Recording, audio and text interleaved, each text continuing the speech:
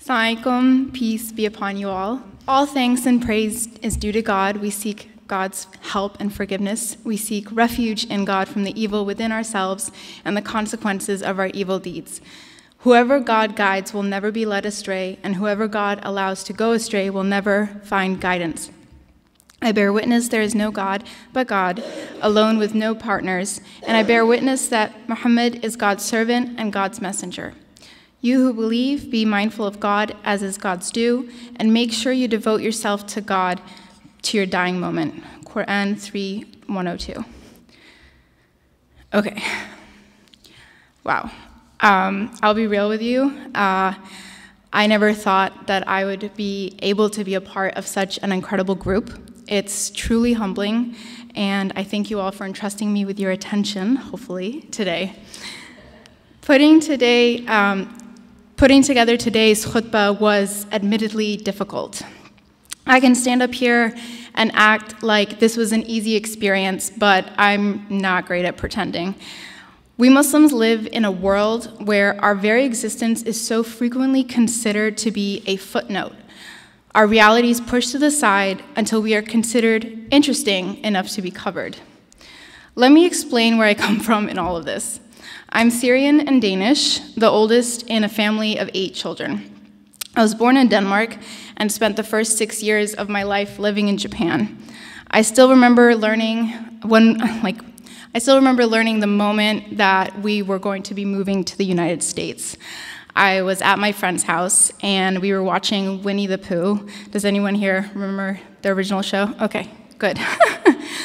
well, they used to play Winnie the Pooh in Japanese. And so I'm sitting there happily with my friends watching some episode when my friend's mother asked me if I wanted to hear what my new language would sound like. You can imagine that I probably wasn't too excited. I really wasn't. So she puts it on. She didn't listen to me. And the words that came out sounded so coarse, so hard to understand. So, yes, I wasn't the most thrilled six year old to move to the United States. I went to public school in America for two years, proud of being Muslim. Suddenly, though, in second grade, my friends stopped wanting to talk to me. It wasn't until almost a decade and a half later, when I was in my junior year of college, that I learned that people stopped talking to me not because of who I was, but because they found out that my mama and myself were Muslim. So I grew up homeschooled, my best friends, my sisters, and my brothers. That can be really difficult to deal with, especially when you just want a friend to hang out with. I found my escape in books because my mama loved collecting books, especially a lot of books that included and shared those stories of the Prophet, peace be upon him, and his companions. May God be pleased with them. That's when I first found my role models. Their stories, realities, and lives have the ability to connect with us in ways that might not always be expected. One of my biggest role models growing up was the Prophet's beloved daughter, Fatima, may God be pleased with her. She refused to let those around her push her into any boxes, standing for the rights for all in need, a fact of her life since she was very young. There's a reason the most well known story of Fatima embodies her fearlessness in the face of those trying to push her father, faith, and personal life into nothing more than a footnote in history.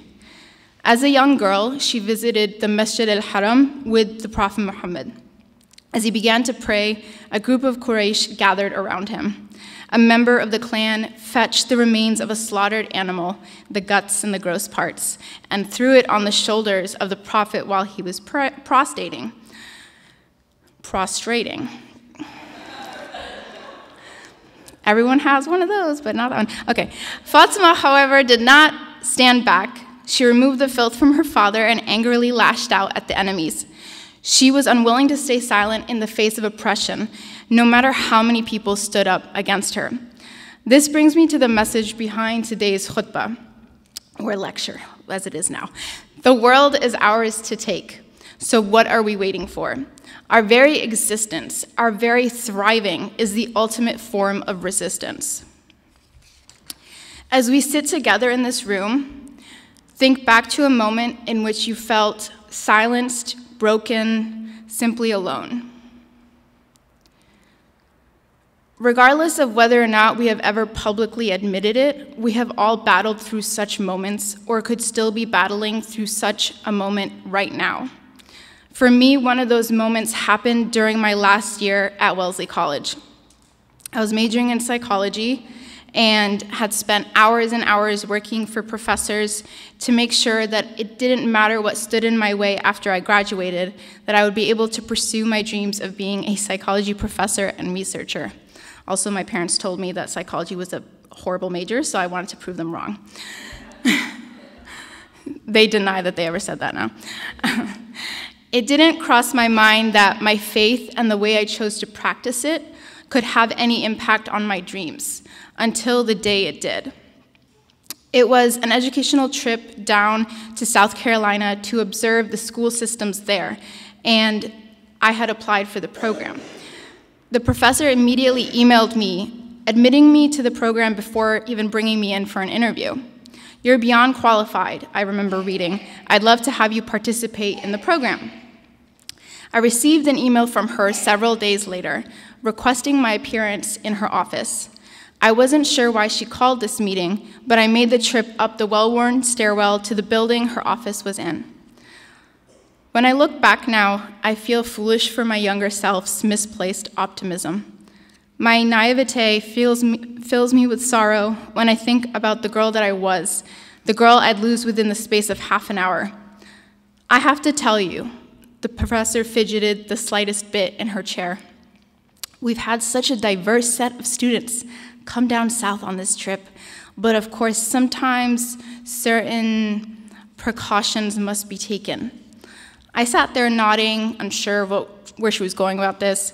Was this some sort of welcome to the program? At my school, anything goes. Um, unfortunately, she continued, unable to meet my gaze for more than a few seconds, I did have to tell the principal of the school about your. She gestured at my head and I froze. This, I fingered the fringe of my scarf stupidly as she went on. He's very uncomfortable having you come down because, you know, she gestured vaguely. Know what? What was it? I'd heard countless accounts of discrimination happening to women wearing the head covering, even here at Wellesley, but this couldn't be one of them. It wouldn't be one of them. Can we do anything about this? I asked. I remember the moment she suggested that I take off the head covering in order to participate in the program. The numbness that crept over me as I saw my ambitions crumble in one fell swoop. I left her office in a state of shock after being paid off with a funded research internship with her. I remember her reluctant handshake, head shake, her saying, I'm so sorry, when I refused to take off my scarf. Her apology was full of sorrow, not at the circumstances, but at my failure to give in. I met my first year roommate, a strong willed, agnostic Polish immigrant woman, on the ramp up to the student center later that day. In the days I recounted what had just happened, there was nothing I could do, was there? Her fury at the professor's decision threw things into perspective. You can't accept this. Her anger was palpable, validating the tears filling my eyes. We have to do something about this. My mother reacted similarly. Laila, you idiot. Don't just let this go. We'll sue the professor, we'll sue the college. Picture a Danish woman screaming into the phone. Yeah, that was my mom. Suddenly, things shifted into sharp focus. Where naivete around my future once existed, defiance bloomed. You can make it through. It thrummed through me when a fellow underrepresented student careless, carelessly dismissed my experience. It stilled my shaking fingers when I dialed the college president's office. The student who answered my call told me I wouldn't be able to meet with President Bottomly for months. And in that moment, my anger at being stripped of the chance to thrive, all because of my choice to wear the head covering, brimmed over. I said, can you let her know that next year the college should note in the course catalog students with headscarves need not apply? Within 24 hours, I was readmitted to the program and given profuse apologies from every dean at the college. The professor remained confused as to my reaction. Within 24 hours, I learned that to thrive would be an act of survival. It's a reality that we all have dealt with, continue to deal with on sometimes a daily basis. It's something that Fatima dealt with, and she hadn't even hit puberty yet. To me, she was the living embodiment of a fierce woman, full of empathy and compassion, but unable to stay quiet in the face of those who threatened her father and her existence. One particularly amazing story happened while the Prophet and his family were still living in Mecca, having to deal with oppression by the Quraysh on a daily basis. So the story goes once Fatima passed by Abu Jahl bin Hisham, one of the Prophet's most vocal enemies, on the street. So she's just walking, living her life, and he passes him. And he, for no reason, slapped her across the face. She went to Abu Sufyan, the leader of the Quraysh, who was not Muslim at the time, and complained to him about Abu Jahl's uncivilized behavior. Abu Sufyan took her with him to the place where Abu Jahl was still sitting and told her to slap him in exactly the same way as he had done, and she did it. When she went home and narrated this incident to the Prophet Muhammad, he was very pleased at Abu Sufyan's sense of justice and righteous action, all because Fatima decided to speak up for what was right. The Prophet then prayed that Abu Sufyan should accept Islam as the true religion. His supplications for Abu Sufyan were accepted, and Abu Sufyan finally swore allegiance to Allah, God, and his Prophet Muhammad, and this was all before Fatima even turned 10. Why am I so in love with this story? You have a young girl who when she was physically assaulted by one of the largest enemies of her father, took that humiliation and anger to the leader of the tribe. She didn't let it break her. That is an unapologetic stance against forces of evil that continues to stand true hundreds of years later. Her actions are a stark reminder for you and me that it really doesn't matter how much space we might be taking up in the world, that we have the right to demand equal rights and protections for ourselves and for everyone around us. Fatima could have let Abu Jahl silence and break her down, but her choice in seeking justice with a bit of vengeance, I'm not gonna lie, is something that will never fall out of relevance regardless of what year it is. We're all living proof here and now that Fatima's experiences and story mattered, that her refusal to back down in the face of ignorance, oppression, and bullying, even as a young woman, was woven into a faith that continues to thrive hundreds of years later. We live in a world today where it's easier to break people into groups that get smaller and smaller until the only person that you can identify with is yourself. No longer is the earth considered safe for all to walk on because it's easier for those in power to tell us that we deserve less than those around us, that the pie is not meant for everyone to eat. So time is spent convincing vulnerable humans that they deserve just a small piece of the pie that marginalization is safer than feeling uncomfortable by the differences that we all inherit and carry. That the silence of underrepresented people is much more aesthetically pleasing than having diverse, enriching conversations and discussions among all. But that's exactly why I'm here today. Amidst all of the conflicting messages, the so called fake news, the daily stories that make us feel like curling up in a corner and just giving up, I'm here to tell you that it will be okay. Throwing it back to my younger self, struggling to figure out the world and what it meant to be seen as other, regardless of how much I believed that I fit in. I made a vow to myself as a teenager that if I ever had the power, the ability to do something about it, that I would make sure that no woman or girl ever felt silenced, censored, or othered. It was a vow that I carried close to my heart throughout my time growing up, and it's the reason that I founded The Tempest, fighting against the current political, social, and cultural climates both here and abroad to build a global media company with more than a thousand women sharing their stories and taking up their space in the world, no apologies attached. It's a journey that I honestly never thought I'd fully embark on a few years ago, but weirdly enough, I believe it's something I've always wanted to do deep down inside, even as a girl struggling to fit in at her school in upstate New York. I could bite my tongue and tell you it's all been sunshine and happy days, but hey, that's not who I am. The moments in which I faced the decisions to take the easy path, to get out of the work that I do with my startup, to just do something else, have been many, but I continue to choose the difficult route. I'm stubborn, I guess you can say that much. And there's something infinitely terrifying and powerful about almost letting yourself free fall, putting your full trust in God that no matter what, you're here, you're fighting hard, and it's work that you renew your intentions for on a daily basis. I've had days where I sit and cry, unsure of what I even signed up for only to be followed by small reminders and successes that help me refocus on my ultimate goal with the Tempest. At the end of the day, we're all pushing through life together. It may feel at times that you're alone, that you're battling to get to where you want to be without anyone next to you. That's a daily reality for me as an entrepreneur, so I can tell you it definitely happens.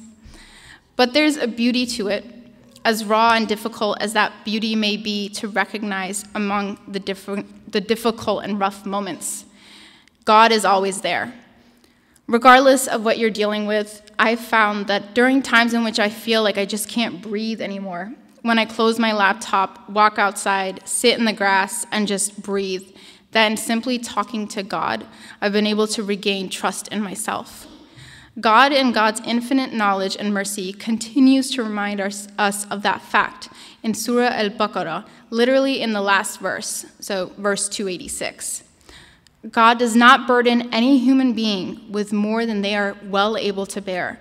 In their favor shall be whatever good they do, and against them whatever evil they do. O our sustainer, take us not to task if we forget or unwittingly do wrong. O our sustainer, Lay not upon us a burden such as thou didst lay upon those who lived before us. O our sustainer, make us not bear burdens which we have no strength to bear. And efface thou our sins and grant us forgiveness and bestow thy mercy upon us. Thou art our Lord supreme. Succor us then against people who deny the truth. In quick summary, God does not push us past what we could bear. So if there's something, anything that you feel inspired to do that seems like it may be impossible, know that God literally has your back. With that in mind, I'll leave you with a small action that I have made into a part of my day to day life, and that helps me amidst moments in which I feel like the world is just fighting to hold me back. Close your eyes, take a deep breath, no matter where you may be, and just ask for God's help. I know there are so many dua and prayers out there, but the beauty of Islam lays in the fact that we quite literally have a personal connection to God, no frills or fuss attached. Sounds like an infomercial. Last thing, just as Fatima reached out to those around her in times of need, remember that you can do the same. We're all in this together. Cue high school musical music. And if I can be of help with anything, know that I'm here to listen at the very least. God commands justice, doing good, and generosity towards relatives, and God forbids what is shameful, blameworthy, and oppressive. God teaches you so that you may take heed. Quran 16, verse 90. Remember, the world is ours to take, so what are we waiting for?